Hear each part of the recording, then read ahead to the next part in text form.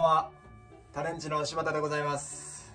えー、っと、おうちでアレンジレシピ、えー第2弾ということでですね、あの前回は僕あの何を作ったかなあの担々麺、札幌一番の味噌で担々麺を作ったんですけれども、それがなんとあの、好評を博しまして、3日ほどで2000回再生いきまして、おめでとうございます。2000回再生ですよ。もう他の小畑とか八木さんのなんてもう300回も行ってない。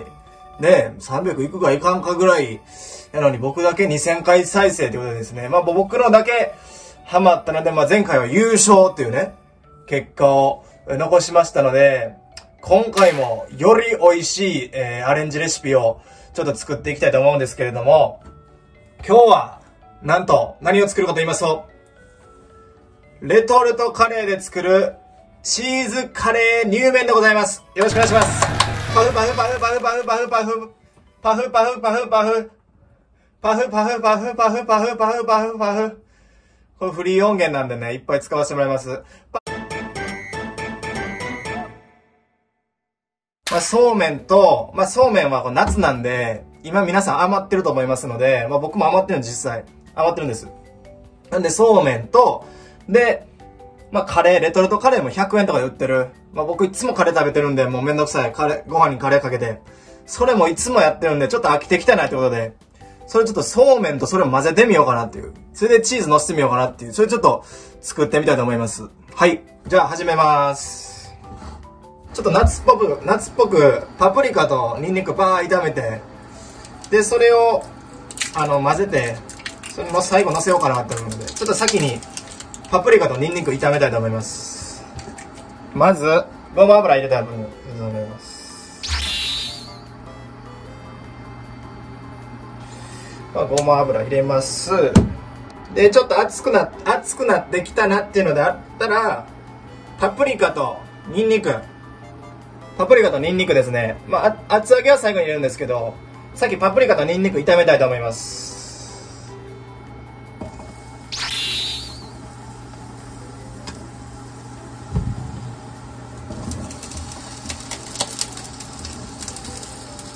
はい。ちょっとね、まあ、色合いがあった方がいいので、せっかく時間あるんでね。で、まあ、これ、普通に炒めるのもあれなんで、塩コショウしときましょうか。基本ね、味を出さないといけないんで、ちょっとまあ、ちょっと塩コショウして。うん。まあ、これ、僕今暇なんでやってますけども、時間ない方、パプリカとニンニクなくても全然作れると思います。はい。あ、ニンニクのいい香りしてきました。ニンニクのいい香りがすごい。香りが、どうでしょううん、おいしい。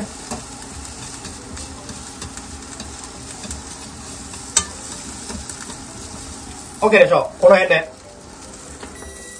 これは後で上から乗せるんで置いときます。一旦置いときます。そして、次は、ちょっとそうめん炒め、そうめんの方茹でたいと思うんですけれども、鍋に 300ml ですかね。300ml の水でまず炒めたいと思います。お水入れます。で、えー、お湯沸かしちゃってください。まずこの 300ml の。で、お湯が沸いてきましたので、そうめん、茹でたいと思います。さーっとね。こんな感じで。はい。そうめん茹でます。そうめんって言っちゃいました。そうめんね。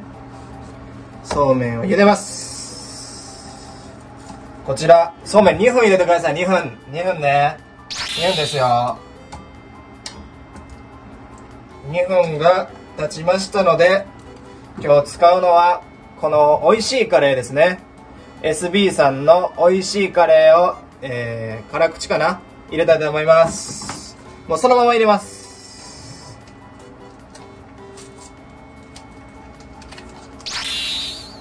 ドバドバドバ。ドバドバドバ。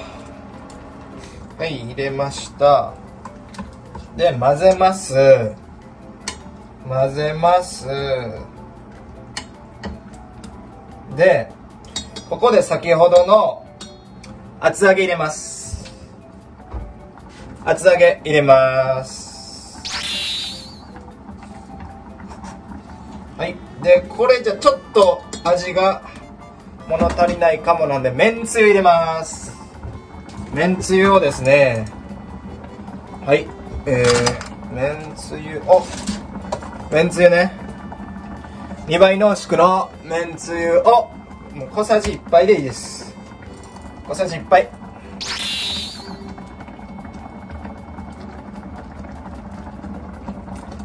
はい。小さじ1杯入れました。でちょっと一煮立ちた一煮立ちさせます。ここで。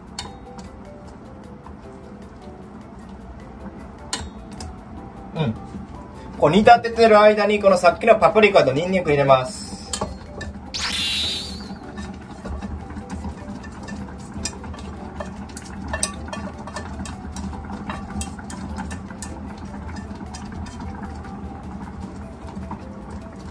最高の色になってきました。はいもうこの辺で OK です。止めちゃいましょう。はい OK です。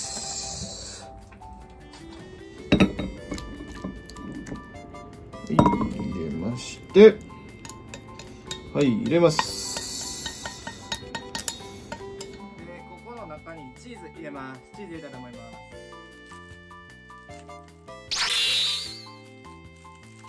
とろけるチーズ。ですとろけるチーズ。とろけるチーズをもうかさいて。はい。こんな感じで入れちゃいます。とろけちゃいましょう。で最後にネギですね。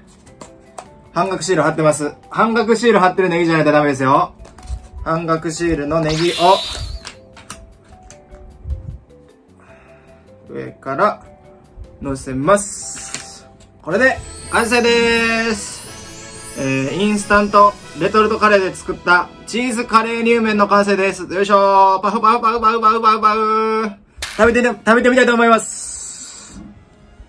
いや、チーズとろけてますよ。チーズめっちゃいい匂いする。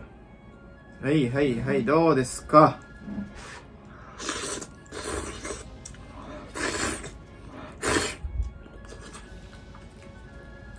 おいしい！何これ？ちょっとね、動画撮りながらなんで、あの、麺がちょっとだけ伸びちゃってるんですけど、それでも美味しい。